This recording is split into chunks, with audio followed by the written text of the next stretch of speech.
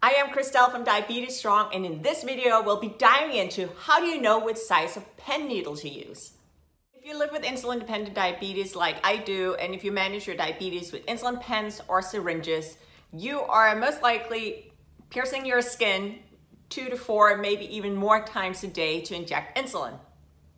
So that's equivalent of 730 to 1,460 times a year that you're piercing your skin with a needle. I do a lot more than two to four injections a day. I'm probably closer to an average of seven. So that's around 2,555 injections a year. So that is a lot of injections. But you know what? I don't mind because for me, it doesn't hurt. And the main reason why it doesn't hurt is that I've found the needle size that's right for me and I change my needles frequently. So just to summarize, the goal of this video is to help you choose the pen needle size or syringe for that matter that's right for you in order to minimize pain and ensure that you receive the full dose of insulin. The needles we'll be talking about today are for you if you use insulin or GLP-1 using a pen or syringes. I'll primarily be talking about these little guys. These are pen needles, but I will also dive a little bit into syringes. If you're only interested in the syringe part, go down in the video description. There's a time code for where I'm talking about. Syringes, just click that and you'll skip right to it. Common type of pen needles include the standard needles and the safety needles. You can see them up here. So I use a standard needle. So let me just show you. So this is a standard needle. Standard needle has two protection layer. So first you remove the safety cover, then you screw it on, and then you remove the first protective layer, which is the outer cap. See, there's a little inner cap in here. That one needs to be removed as well. And then you can do an air shot to check if insulin is flowing. Unfortunately, due to poor training, some people have not been aware that they need to remove both the outer as well as the inner cover. And according to FDA, unfortunately, this has led to severely high blood sugars in some people and even hospitalizations. So always remember, remove both the outer as well as the inner cover, do an air shot, and just ensure that insulin is actually flowing. The other pen needle I mentioned is the safety needle. On the safety needle, there's an outer cover that's removed, but the inner cover is not, which can help protect you against poking yourself on the needle. How do you find the right needle? Generally, the medical community leans towards the use of shorter needles. I'll leave a link to that publication here so you can check that out. Interestingly enough, I was prescribed a 12 millimeter needle initially and used that pretty much throughout, throughout my whole, let's call my diabetes career here. And I just happened to learn about shorter needles. Don't want that to happen to you. I want you to be fully informed. So let's talk a little bit more about needle sizes and needle lengths. Pen needles are available in the length of 4 millimeters up to 12.7 millimeters. That is 532 inches to half an inch long. And here's a visual so that you can get a feel for the difference in the length of the needles. The next component is the thickness of the needle or the gauge. So pen needles come in the gauge of 29 up to 32 and you'll see that listed on the box or on the actual needle as for example, 32G. And when it comes to gauge, the higher the gauge, the thinner the needle. If you use very large amounts of insulin, for example, you might want to choose a needle with a lower gauge so that more insulin can flow through. So now you know a little bit more about, well, you need to take the length as well as the thickness of the needle into consideration. But how do you actually know which length that's right for you? Remember, insulin as well as GLP-1s need to be injected into the fatty tissue right underneath the skin. So here's an illustration of what that looked like. You want the insulin or GLP-1 to be injected into that fatty layer, not into the muscle, and of course you want it to go all the way through the skin. On average, human skin is about 1.9 to 2.4 millimeters, and that is regardless of BMI or body type. So that means that a needle the length of four to five millimeters should work for anyone, everybody type. But that doesn't mean that you can't use a longer needle. Just remember that it does increase the risk of bruising, bleeding, and pain. Also, if you use a longer needle or a needle that's a little bit too long for you, you have the risk of injecting directly into muscle tissue. So going through the fatty tissue and down to the muscle tissue. If you do that, you're at the risk of whatever you're injecting, if you're injecting insulin, that will be absorbed quicker into the body.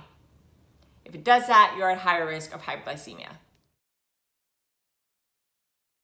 To pinch or not to pinch the skin for an injection. Uh, well, that actually really depends on which length of needle that you ultimately choose. If you choose a needle that's four to five millimeter long, you do not need to pinch the skin for an injection and you can inject in a 90 degree angle. That means like that without pinching. That means that you do those one-handed injections, for example, in your arm. Kind of like here. You might have seen me do that a few times before. However, children from two to six years old, as well as extremely lean adults, might still need to pinch the skin before injections. If you choose to use a longer needle, you still need to pinch the skin up or do a 45 degree angle to avoid injecting directly into the muscle. Some people have raised the concern that shorter needles doesn't work for people in larger bodies or that it would lead to more leakage. However, there's actually been research on this and the research have shown that this is not the case. Shorter needles works for pretty much every body size and it does not lead to more leakage. I will leave the links to the research down in the video description for those who are interested in that. There are different companies that make pen needles. So I want to give you an overview of the companies and the pen needles available for the 4, the 6, the 8, and the 10 to 12 millimeter needles. So here we go. These are the 4 millimeter options. So there's Gluco RX, that's our 4 millimeter needles, and there's BD, and then there's NovoFine. Then we have the 6 millimeter pen needles. We have Unifine, have NovoFine, have MyLife PenFine, and Gluco RX. Then we go to the eight millimeters. And remember, now we're up in the larger needle, so if you choose that, you do need to either pinch or do a 45 degree angle when you inject. Here we have the Gluco RX, I have the BD needle, the MyLife pen needle, uh, PenFine needle, and the Unifine. Those were all of the eight millimeters. Now we move up to the long, longest needles that are 10 to 12 or 12.7 millimeters. So here we have the Unifine, we have the My, My Life, we have the Fine Point, uh, we have both their 10 and their 12 millimeter, and then we have the BD, which is the 12.7 millimeters, which is the longest available pen needle. And that, I believe, is all that you need to know in order to make a choice about the right pen needle for you. You need to think about the length, and you need to think about the thickness and how you want to inject. Do you want to do 90 degrees or do you want to do it at an angle? Now let's talk about insulin syringes, given that syringes is still the most widely used way of delivering insulin. A syringe is a hollow plastic tube with a plunger and a needle in the end. And you simply use that to draw out the insulin from your vial and you then inject it. It is important that you choose a syringe that fits the insulin that you use. So for example, if you use a U100 insulin, you wanna choose a U100 um, syringe. So let me just show you. So these are my syringes, okay? And up here, you can see it says for U100 insulin. I then check my insulin vial and see that that is U100 as well, and I know that it's com compatible. So I wanna show you what that could look like. These are my syringes. So I use insulin pens, but I do have syringes for backup. This is a 3.3 milliliter syringe, and it is an eight millimeter needle. Take that off, you can see that here. That's what that look like, looks like. It is, that is equivalent 5 16th inches. And this is a 31 gauge. So basically you take off this, you see the plungers here, take off the protection cap, you put it into your um, vial and then you pull out the insulin up to the amount of units that you need. So now I stopped it at 15, see there. Always wanna make sure there's no air bubbles and then you inject. The standard needle size on a syringe is 12.7 millimeters or a half an inch. Um, but they also come in 8 millimeters, 5 16th inch. That's the one I showed you um, that I'm using. And you can also get it in a 5 millimeter, which is 3 16th of an inch. And the 5 millimeter is most often the one used for children.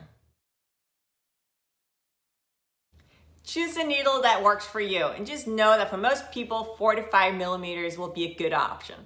By also practicing these three tips I'm going to tell you now, insulin injections can become smooth sailing with less risk of pain or leakage. The first one is change your needle every time.